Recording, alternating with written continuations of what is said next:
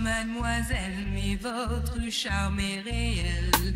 Est-il vraiment charnel?